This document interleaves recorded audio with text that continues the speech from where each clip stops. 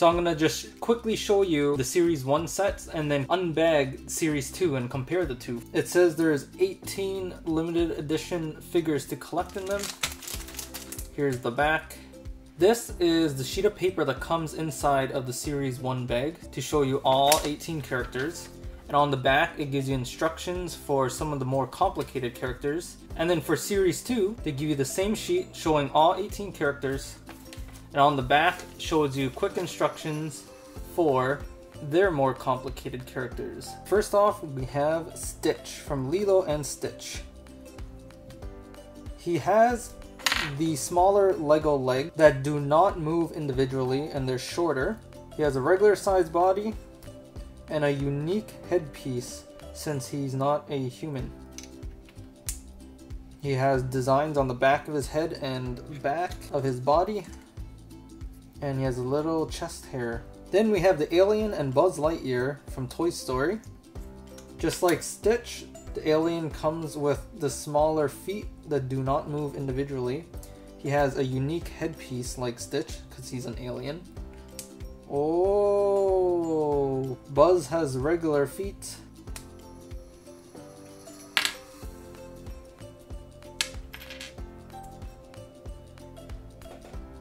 He comes with his body suit and the wings pop on individually.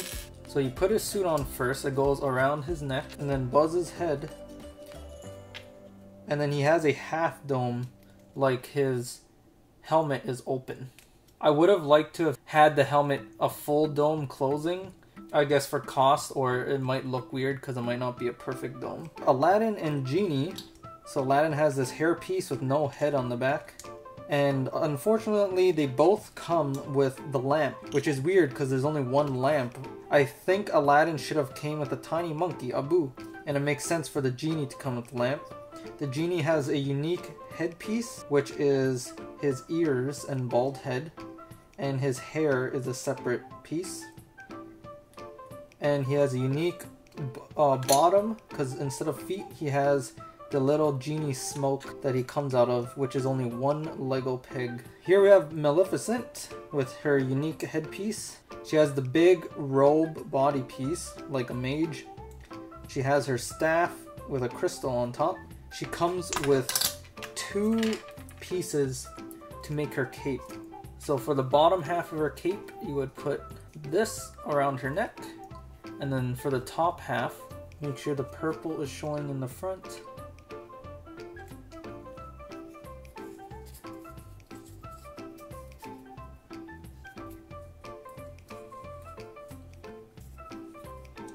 Just like that.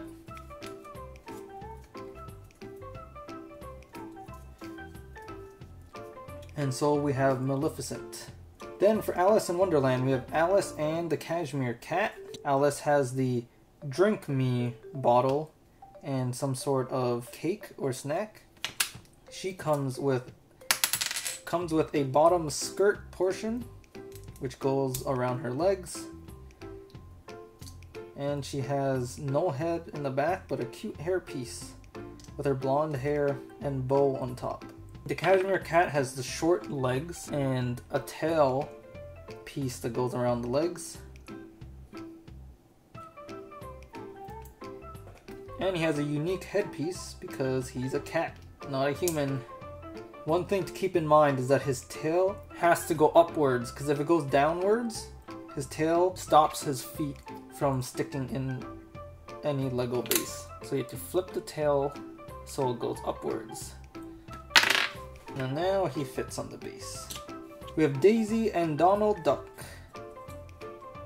They both have the duck tail piece that goes upwards. They both have a unique headpiece for the duck head. They both have a unique top hat piece. Donald has the sailor hat Daisy has her little bow.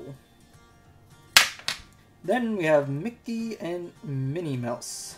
Minnie has a little bow piece just like Daisy Duck, which you can put on Mickey.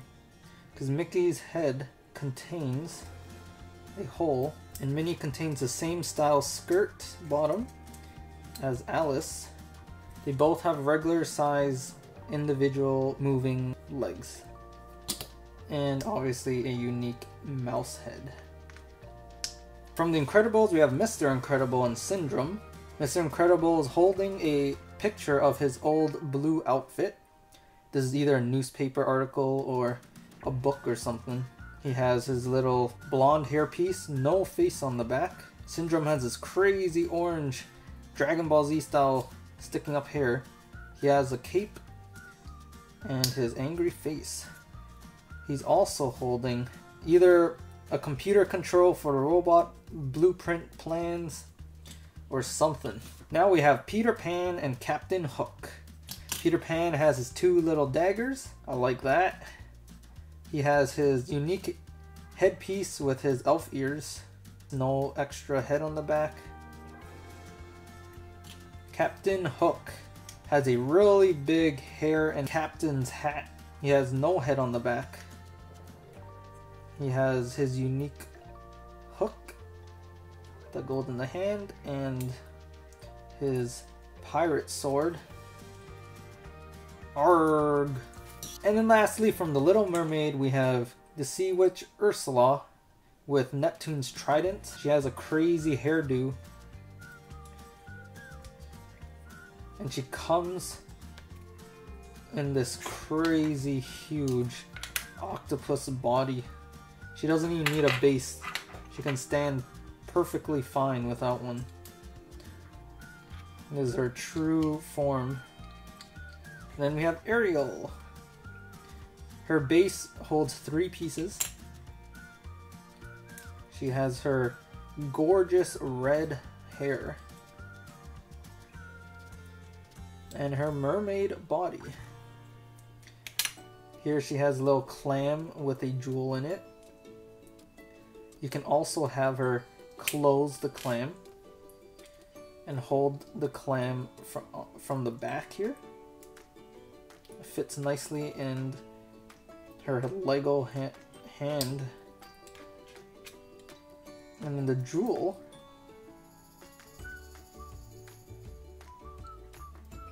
It's an hen. Look what I found! So that is Ariel.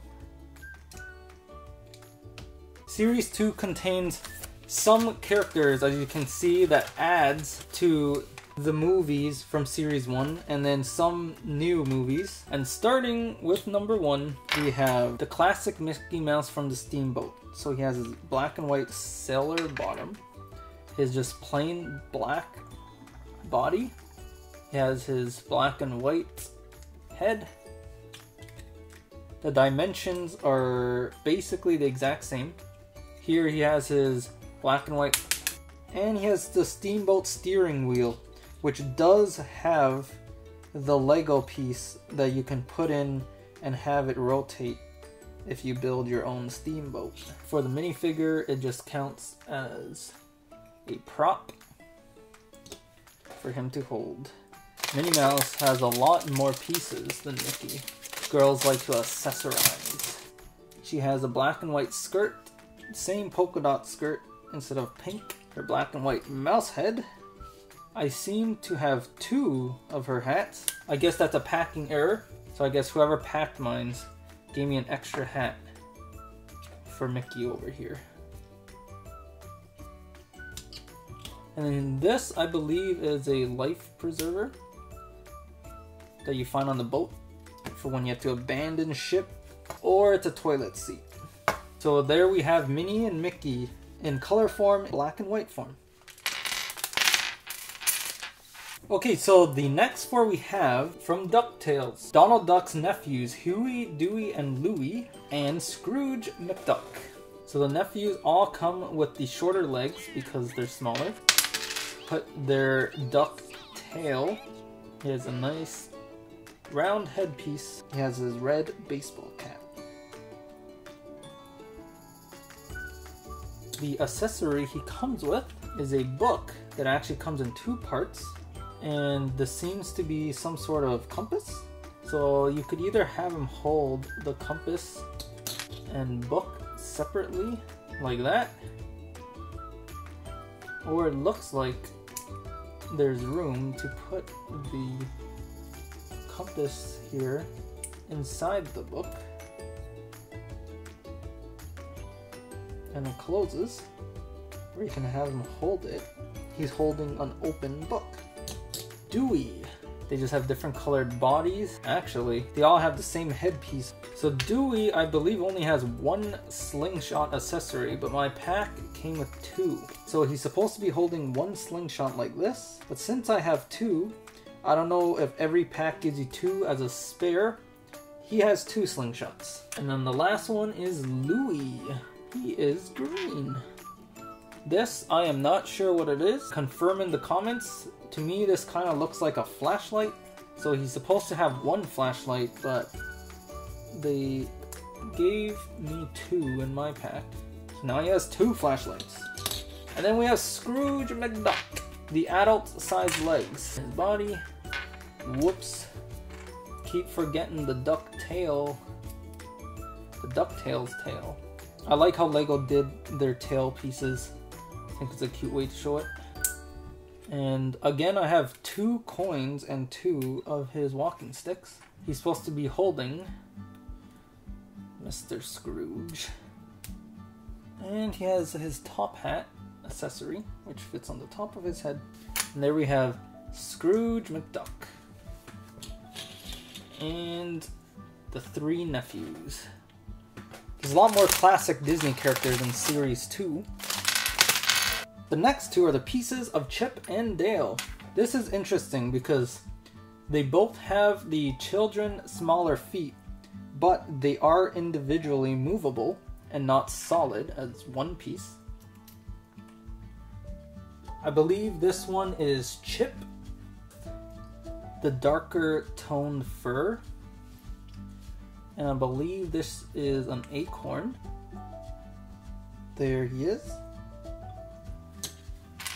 And this one should be Dale with the big red nose. And I guess this is a whole sack of acorns. It's a whole bag. There we have Chip and Dale. Little rascals. Well, they come in their own individually wrapped bags within the bags. So here we have the pieces of Elsa and Anna from Disney's Frozen, the most popular thing to come out since sliced bread. Elsa's dress piece with her top. I believe it goes on this way, so you can see this crystal snow on the front. Whoa, and her hair piece is very unique. It's actually made out of rubber. And she has a giant snowflake that she can cast out from her magical hands. Here we have Anna with her dress piece. So the back part of her dress is a different cloth material. It is very soft so that it can bend back. She has a cute little winky face with her little freckles on the side. Here is her dual ponytail hairpiece. It's made out of rubber, just like her sister's and here she has a lantern accessory. We have Jasmine and Jafar from, where are they? Aladdin! To go with Aladdin and Genie. So building Jasmine first. She comes in her nice dress. Printed on the Lego body parts. There's her smiling head. They're nice. It's the same material as the frozen hair pieces. I guess it's easier to manufacture it in rubber instead of the original hard plastic. I'm having trouble getting it to fit though. And this is exactly what I'm talking about here. So she has a pigeon, a small little pigeon that she holds in her hand, just like that as her accessory. So I don't know why they couldn't have made Abu, a small little monkey, and given that to Aladdin for his accessory. Because Aladdin doesn't need the lamp because Genie comes with the lamp. It's redundant to, to have two of the same accessory. Now we have the old Jafar. But you're so old. Bruh. Robe-like bottom piece. A cape, which I am assuming the red part gets shown. I'm not sure if the black is supposed to be in the front or the red is the front. I'm going with the red. I'm missing his headpiece. Oh, Anna took it. There's his ugly face. Oh, wow. Jafar actually has two heads. So he has an angry one. And he has a I'm not impressed one. Whoops, I put his head on too early. He has this weird like it's the it's his little collar that sticks up like that. And his helmet. I had the collar on upside down. There we go. Hmm, I'm not impressed. And then he has his scepter snake head to hypnotize. Kind of wish he came with Iago, the red bird, as an accessory as well. The Sultan would be nice to have as well. We have the pieces to Hercules and Hades. So let's start with Hades. So just like Ursula, Ursula has this big bottom to be her octopus tentacles. Hades has a similar big base, but it's like his smoke. There's tiny little blue lines to show you it's the front. He has his nice blue head. Whoa. His hairpiece looks like it's a separate piece, but I believe they glued it on. So it is not removable. And he comes with the standard Lego flames. I think they should have made his flames blue. They went through all the trouble to make blue transparent hair. They should have made the same blue transparent flames for his hands. And then here we have Hercules. Comes with a, lot of accessories actually. So we have the standard Hercules body and legs. He has his angry face when fighting Hades and his happy face. This is Hercules hairpiece. Hey ladies. And once again I got double accessories, two daggers, but he's supposed to hold one. On the picture it shows him holding it in his right hand and he has a shield with a handle with Zeus's lightning bolt. And there he is. Hey! Here are the pieces of Sally and Jack Skellington from Nightmare Before Christmas. There's some very nice details on Sally's body here. Really impressed. She has a dual head. The only difference is her mouth is either opened or closed. She has a hard plastic hairpiece, not rubber. And again, I got two copies of her flower accessory. So it comes with a base and a top piece for her flower. Got some extra detail, and I have two of them. So there's Sally with her flower accessory. Here's Jack Skellington. He comes with a lot of pieces. So there's his legs and top. And this is his little collar, which I believe goes on like that. It's a bat. So I forgot that there's instructions. So the instructions say to put it on like this. And then put his body part on. So it's like a bottom pants piece on the back. Then he has his bat collar, and then his head.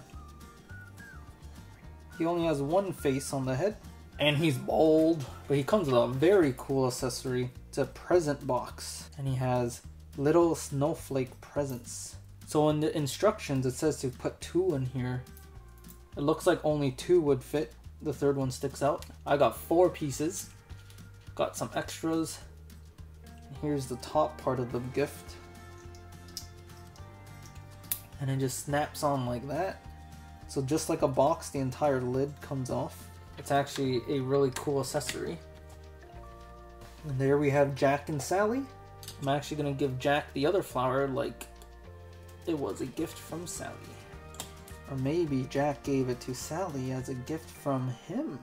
And now we're down to the last two, number 17 and 18. From The Incredibles, that is surprisingly not Elastigirl. So instead of adding more of the Incredibles family, they added Edna and Frozone. But Edna has the small child feet because she's a short character. She comes with a double face head, a happy face, and a not impressed face. Let's give her the happy face. And then she comes with a very unique headpiece with the giant glasses that magnify her eyes. The eyes cover the character's headpiece and it looks way more like her actual character with the giant eyes.